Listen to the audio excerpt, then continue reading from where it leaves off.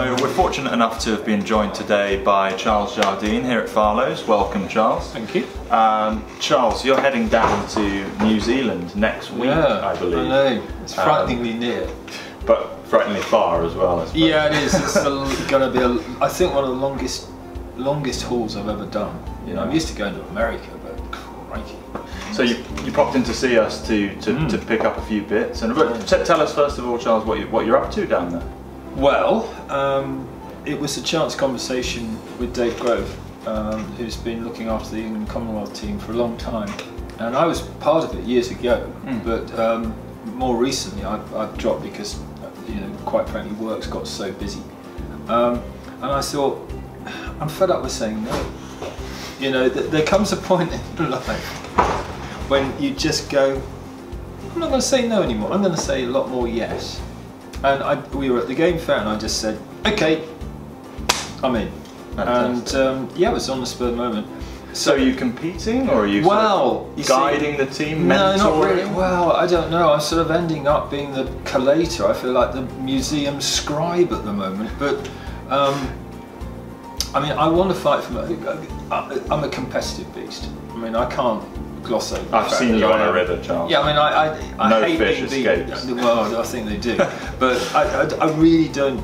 You know, I, I want to fish, and I want to fish to my maximum capability. And um, so, whether I can fight for my place in the team back again, I don't know. But it's been an absence, and it wouldn't be fair, really, to ooze ooze someone out Mm. who's who's you know work very hard to get in that team. So at which part of New Zealand do you visit? It's on the North Island. Right, okay. You and know, it's your first time It's my down first ever. Um, so it's going to be a, a learning curve, even Oh, for crikey, even yeah. for someone like I mean, yourself. Alex was really helpful. My son. Yeah.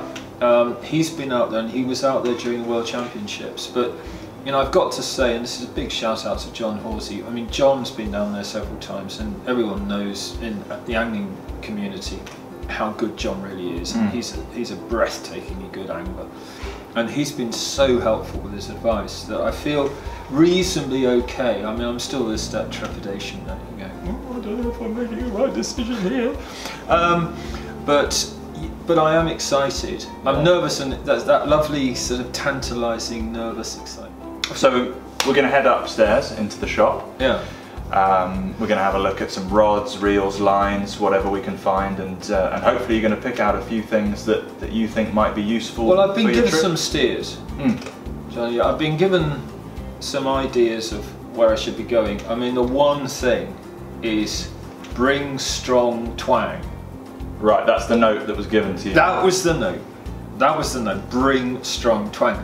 Now, I'm hoping, I'm hoping that they need tippet. If, Yeah. if it's something else, I've got this very badly wrong. Well, should we pop upstairs and Yeah, see what twang that. we can find? Yeah, let's do it.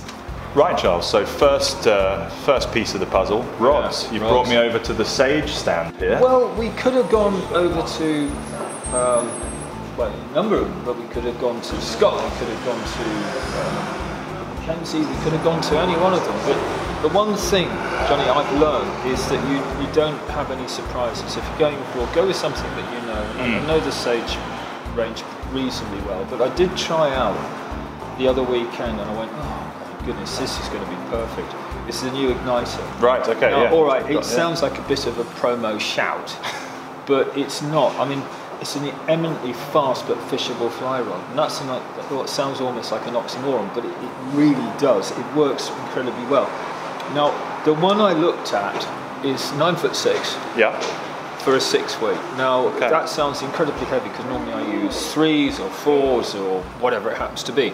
But I, I always err to the lighter end. But I want a rod that's going to do big nymphs on Right. rivers for big, tough trout, but also double up for still water as well. Mm, okay. And I, I figured that this, in conjunction with a variety of lines, might do me well. okay. I mean, I'll have backups, of course I will. Yeah, yeah. But this one, But as a general purpose. as a general purpose rod. Um, And why nine foot six? I've just got that extra reach. Okay. It's the same thing. Is that for men? Will, will you be having to mend? I don't know. Okay, I don't but know. it'll give you the flexibility. But also, if I'm fishing from a boat, I've just got that little bit of extra reach to hold and hang, which I love to do. Yeah. And you know, it doesn't matter the wild fish or stock fish. You know, you can just hold it and just literally figure of eight, and just hold it. And doom, you know, you're very- So for so nymphs, Nymphs, Dries, yeah, streamers. Streamers, a whole lot. Yeah. so something a, Yeah. a weapon to. yeah. Uh, I mean, normally I'd say, all right, nine and a half or ten foot for a fall. Mm. But being given the advice that I have, I'm going to go up a couple of line sizes and say, look, this is, I think, going to be as good a standard size rod as I can get. Right, Charles. We'll have a little look at rods. We've got to put a reel on it. So this is my nemesis right here. no, I'm not joking. Look at that. Look, look. we have got a we've got a fair bit of choice for you. But, but what do- what would you be looking for with a reel for for this trip to New Zealand? Okay, Uh, what what it's got to stop fish. I mean, that's the one thing I've been told. I mean, Horsey was absolutely adamant. You need a reel that you need stuff that will stop fish Hmm. So in their tracks. strong drag, Strong drag, but also if they're going on mad runs, you need You- something smooth. but I, I need something with what we call low startup inertia, which means you don't get that. It's quite difficult to explain, but when you rotate a reel at speed, there'll be that. Ooh, it's almost like getting a little hiccup Mm. after a meal, and that's what you call, you know. uh, So when the fish suddenly, ch- Charges off. changes speed or changes direction, you want don't. it to, you want that smoothness. Yeah. And that's why people invest so much in saltwater reels Mm. because you, you reduce that. Okay. So you you take away because that little jolt can very often unleash a hook hole Or put an extra bit of strain on your or, tip. or whatever, but you suddenly get that. Yeah. So we want to eliminate that. Now, we, we tried a few. We did the sort of spin test, if you Mm. like, and oddly enough, and I've never thought about Ross reels ever. I mean, that we've got the Sage ones here, we've got Hardy's, we've got all sorts of beautiful things. Um, this down here, the Tibor, which I've always used for bonefish. Mm. Some nice Lamsons. But this well. one caught my eye, and the reason I like this was quite simply, you were showing me this is Mm. that on the drag. Yeah. I love that. Just do it with your whole Just do palm. it with so the palm. in the heat of the moment, Yeah. you're not fiddling around but for you see there, it's lovely and smooth, right. and it's light. Yeah. And you know, for me, the killer point in this one is it's not shiny. Right. Okay. And the one thing that's been driven home to me is camouflage, camouflage, camouflage. So, So clear water, of course. Clear water. Well, probably Well- clear water. And also, I rather like that handle. Hmm. It's not going to slip. But that I'm interested why you make the point of that glare. So, so I suppose you're you're going to be wading. You're going to be in amongst I'm going to be in a boat. gonna- I'm going to be all sorts of things. So what I don't want is something that's it's going to be like you know, you know th- those those those old movies where you get people sort of signifying a mirror, you know, from a hill. Um, you don't want that. Yeah. So you know that's going anything to be to give you the best chance of, Yeah, I of just staying want, concealed. I want to fish. load the dice in my favour, not the fishes. So, rod, reel, reel. got to put a line on it. What are you looking for in a line for this trip then? John? You've already Well- mentioned that the rod, we want it to do nymphs, dries, maybe some bigger stuff. so- Yeah. You need payload, which means you probably want air- airing to the heavier side of, of a taper. Okay. And most most A more front focused yeah, tape. but even extending line in, in the back cast, so you want a longish taper. Right. Um, so most modern lines do that. Okay. Um, so A weight forward. yeah, most weight forwards are sort of an extended weight forward now, you know, to combat or compensate for the very fast rods that have come on and are, are Hmm. pretty much vogue now. So you could easily have gone for the Rio. That's so popular. Yeah, the Rio Um, Gold there. the- and that's nicely matte. We'll come on to that in a second. Yeah. But you know what? I, I You mentioned one particular line. yeah, that. And I've heard good things from people in New Zealand about this. They like this. There's a bit of elasticity in these that isn't in this series, in the InTouch series.